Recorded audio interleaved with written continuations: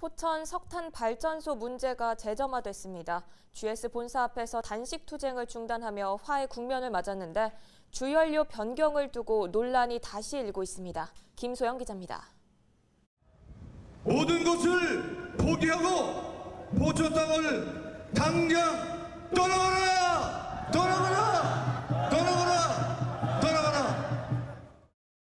지난 10일 포천 시민 2천여 명이 석탄 발전소 앞에 모였습니다.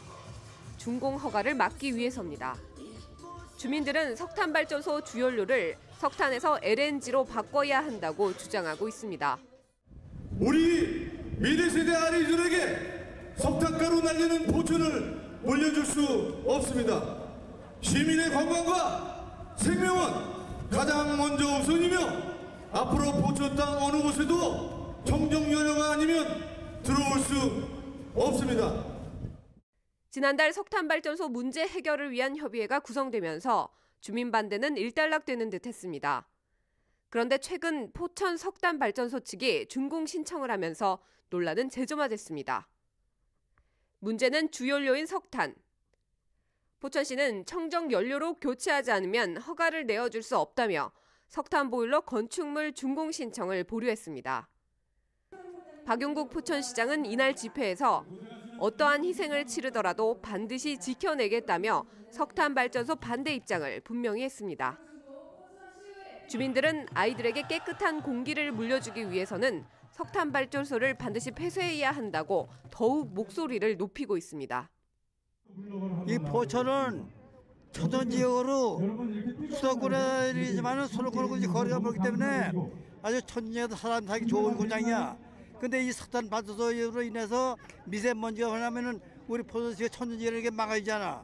그러니까 저 시민이 저는 반대하는 거지 뭐. 미세먼지가 점점 더 심해서 어, 마음대로 숨 쉬고 다닐 수가 없잖아요. 그래 뭐 우리는 뭐 늙은이니까 뭐 이제 얼마 살, 살 날도 멀지 않았지만은 젊은 애들 때문에 큰 문제거리가 돼서 시방 우리가 대꾸는 겁니다. 아이들을 살리기 위해서 대모하는 거예요. GS 포천 그린에너지는 준공 허가 보류로 사용 승인이 지연되면서 경제적 손실이 커졌다며 시를 상대로 행정 소송도 고려하고 있는 것으로 알려졌습니다. 주연료 변경 없이는 허가를 내어줄 수 없다는 포천시와 주민들. 건설을 마치고 본격 가동만을 남겨둔 상황에 주연료 변경은 어렵다는 석탄 발전소. 이들의 팽팽한 기싸움은 계속될 것으로 보입니다.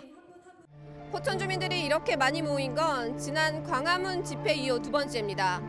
포천 석탄 발전소가 폐쇄되거나 혹은 주원료가 변경될 때까지 주민들은 이 같은 투쟁을 계속해 나가겠다는 계획입니다. 헬로티비 뉴스 김소영입니다.